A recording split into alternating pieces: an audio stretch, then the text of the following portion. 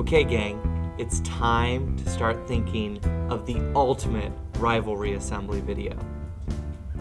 We need something that's gonna make fun of Hemet High, yet be elegant. You're absolutely right, Mr. President.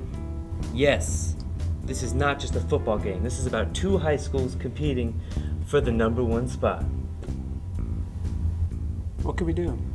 Ooh, I know. I could talk about one thing, and then I could digress into something completely unrelated, and then use an obscure pop culture reference, and then mention a random name of an ASB member right before I do the Pledge of Allegiance.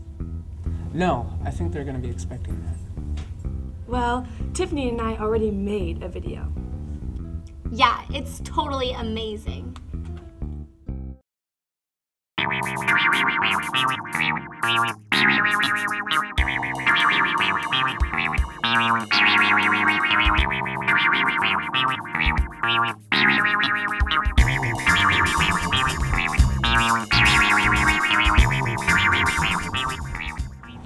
Ew, gross. What's that smell? It smells like dog poop.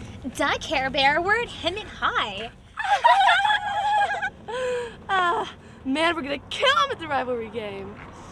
You said it, Care Bear. We're so much cooler than them. You said it, Tiff Taff. It is kind of sad, though. What do you mean?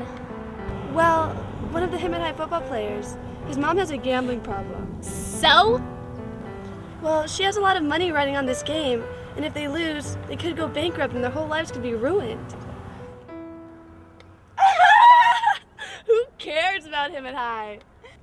We have no sympathy for them. I know, even though they're teenagers just like us, and the only difference is where we live. That's cute. West Valley rocks. School spirit rocks! This has been a message from Kara and Tiffany.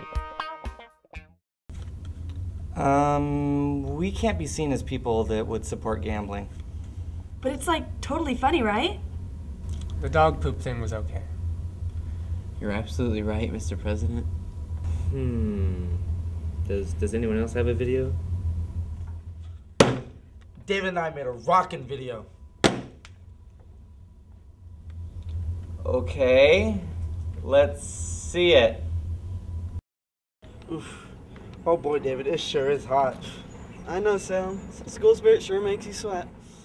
I think we should take these off. Oh, oh look, a bulldog! Due to budget cutbacks, the classic symbol of hatred, the bulldog, has been turned into a chicken, which is what Hemet High's mascot should be. A chicken. This is our chance to prove our commitment to West Valley. Let's catch it! David, it's a chicken, not a bulldog. Well, same thing.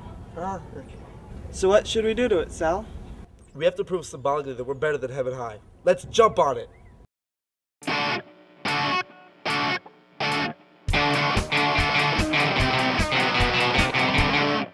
Sam, it still looks pretty good. I got an idea.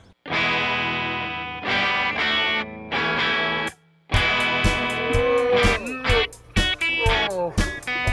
Go, David. Drown him, David. Drown that sucker. Drown him. I think he's done. No, he's still breathing. Oh, one last idea. Let's go to the parking lot.